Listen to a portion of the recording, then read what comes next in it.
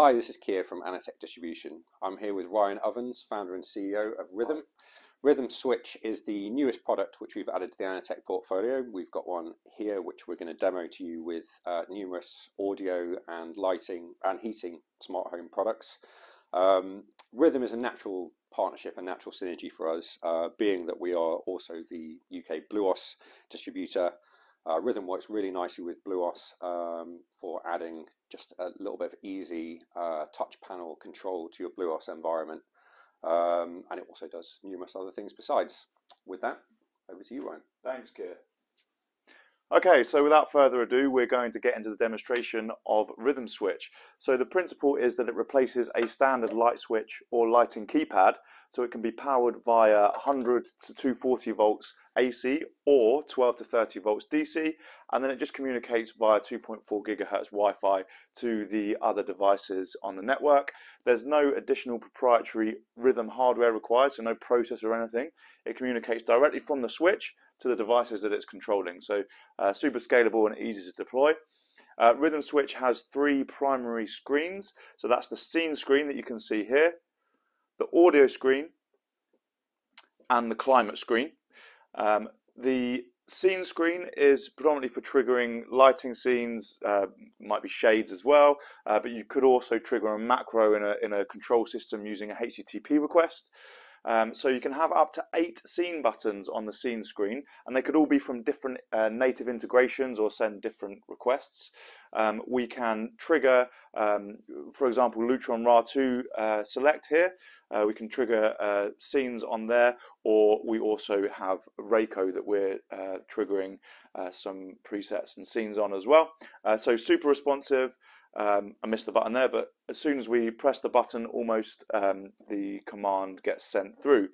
Um, then if we come onto the audio screen, um, we can uh, have the standard controls you'd expect, transport controls, play, skip, pause, stop, volume. Uh, we can change zones. Um, we can also select a preset. Um, and you can see that it's super responsive. Almost as soon as we press the command, it, it's jumping through to the speaker. Uh, really responsive audio control as well, um, and, and really super easy configuration that I'll come on to shortly. But we just jump into the climate screen um, where we can select a zone um, from a list of zones if we have multiple, um, or we can adjust the set point manually. Um, and this is actually uh, triggering a light within Philips Hue, but it could be a relay within Philips Hue, um, or it could be a relay within one of our other integrations such as Rako or Lutron. Um, so super easy to use, super easy to deploy. Uh, also built into the climate uh, screen, we have a seven-day scheduler. So we can come in and remove a few schedule points. We can add one for a certain time of day at a certain temperature, and then we can copy and paste between days to build our full seven day schedule. Um, in terms of configuration now, just to run through that, um, as I mentioned, it's all done on the switch. Uh, so we can come in and um, first I'm going to remove the audio integration. So we come in integrations, BluOS, remove confirm. So we've now removed the audio integration. That means the audio tab down here is gone and I can't get to the audio screen.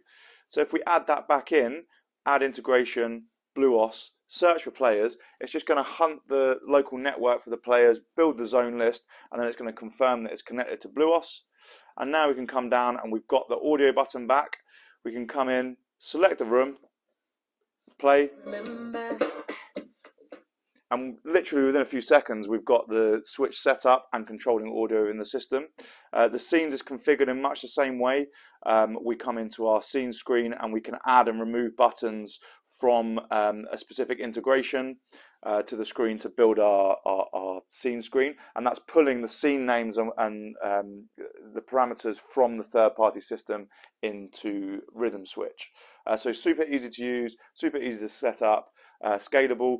One other feature that we have in here is our standby gestures. So if we set the um, display timeout back down to five seconds, uh, we've incorporated standby gestures so that users can get the lights on or off, audio on or off without having to wake or look at the screen.